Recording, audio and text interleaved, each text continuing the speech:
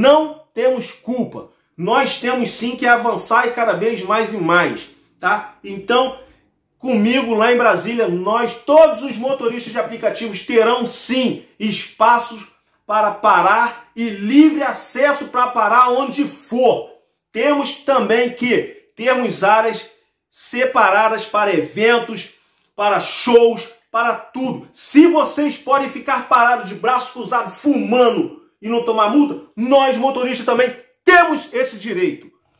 Fala, meus queridos, beleza? Quando a gente tem proposta boa e a gente começa a falar, a gente começa a incomodar. E quando a gente começa a incomodar, o que, que acontece? A gente começa a ser ameaçado. E aí eu vou falar para vocês o tom da ameaça, como foi feita essa ameaça e por quê.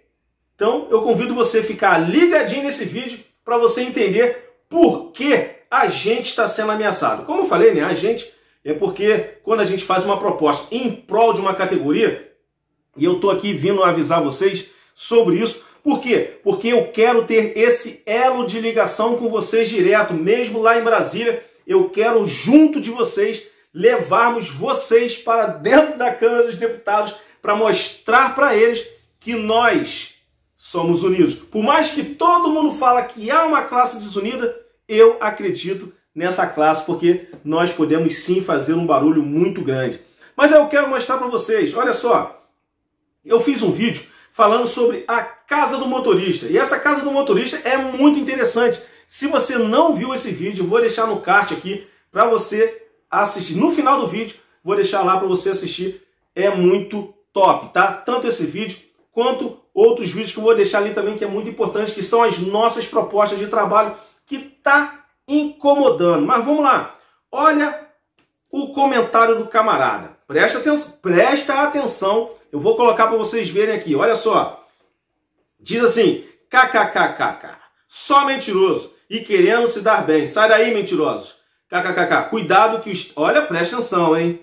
Cuidado que os taxistas já estão de olho nisto e já falaram. Se tentar pegar igual ao táxi, vão quebrar tudo. Presta atenção no que você vai fazer e botar a categoria na furada. Presta atenção. Carro de aplicativo só pode pegar por aplicativo. Já fui informado que os taxistas do Rio já estão de olho nisso. Olha só, hein? Quando as propostas são boas, os caras ficam pianinho, né? Ou melhor, ficam alvoroçados querendo ameaçar, querendo nos intimidar à base de pancada. Aí eu comentei, comentei o seguinte, cara, sai pra lá, taxista, não tenho medo de papo furado, como realmente não tenho medo de papo furado, não tenho. Para mim isso é um papo furado de um medroso que tem medo de mostrar a cara. E aí vem com a ameaçazinha de conversinha fiada. Aí o cara comentou assim, já estou de olho em vocês. Se botar ponto, os taxistas vão quebrar na porrada. É só tentar, o azar é certo, tenta a sorte. Mas vamos lá, galera. Não tenho medo não tenho medo. Tô aí, se a bola bater, vou chutar pro gol, irmão. Se cair na área, é pênalti, vou derrubar. Não tenho medo de papo furado. Não tenho medo, tá ouvindo? Não tenta vir querer com ameaçazinha, porque aqui, irmão, não tem medroso não, beleza?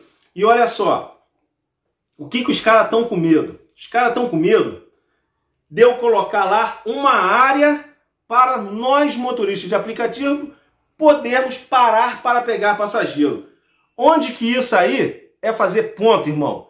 Termos uma área, somos e temos sim o direito de ter uma área específica para todos os motoristas de aplicativo parar, tanto na rodoviária quanto nos aeroportos. Nós temos sim o direito. Não é porque vocês começaram lá atrás que nós não temos. Não tenho culpa se vocês não avançarem, irmão. Se vocês ficarem estagnados na mesma situação que você está. Não temos culpa. Nós temos sim que avançar e cada vez mais e mais, tá? Então, comigo lá em Brasília, nós todos os motoristas de aplicativos terão sim espaços para parar e livre acesso para parar onde for.